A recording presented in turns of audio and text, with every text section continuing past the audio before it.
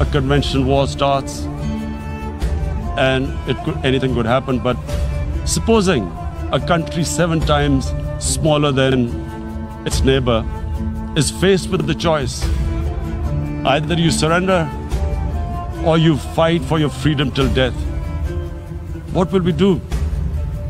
I ask myself this question. And my belief is, La ilaha illallah, there is no God but one.